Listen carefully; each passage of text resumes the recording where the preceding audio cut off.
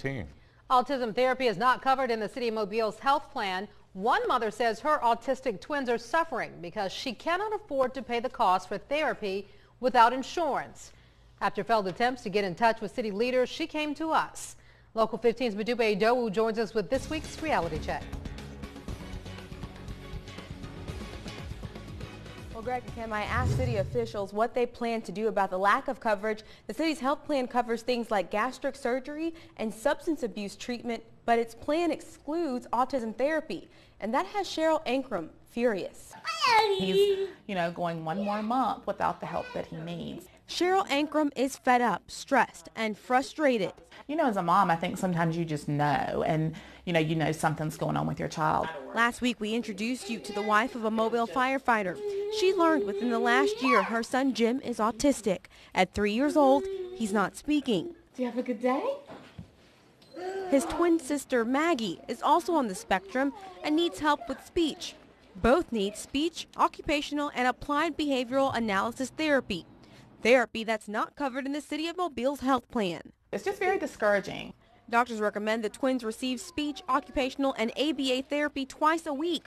One 30-minute session for speech costs $85. And without insurance, ABA therapy is $150 a session, costing more than $2,400 a month. It's just overwhelming when you when you think of it.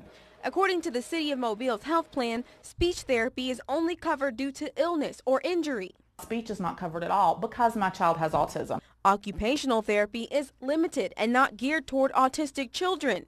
ABA therapy isn't mentioned at all. So the ABA therapy is huge. That's, that would be like saying to a cancer patient, well, I'm sorry, we can diagnose that you have cancer, but we cannot provide chemotherapy for you. According to the City of Mobile's health plan, in some cases, the city will actually cover bariatric or gastric surgery for the morbidly obese. It also covers all expenses for inpatient substance abuse treatment and will also cover an elective abortion for a mother struggling with drug abuse.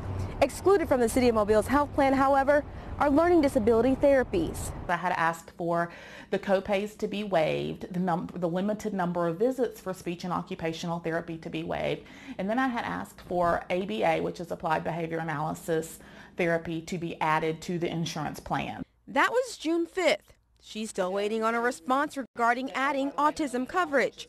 Hi, George. It's Modupe with Local 15. After numerous calls and emails, I tried to get in touch with city officials for days.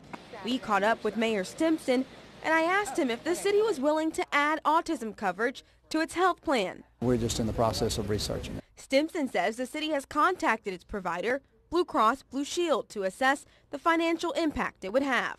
They have to come back to us with recommendations and set the, uh, the parameters of what has been done or what can be done.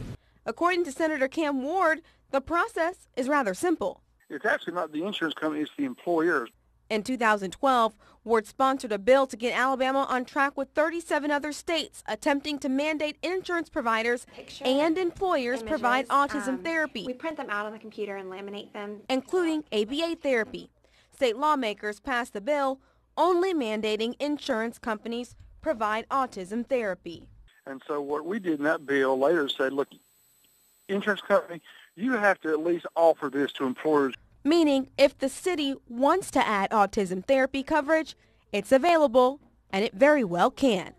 Mayor Sandy Stimpson says the city should hear back from Blue Cross Blue Shield sometime this week. He wouldn't say if the city will add autism therapy or consider adding it before enrollment begins for health insurance on November 15th. Local 15 News is your advocate when it comes to how your tax dollars are spent. If you have a problem you'd like us to check out, call our Reality Check hotline. The number is 877 315 7268. The Supreme Court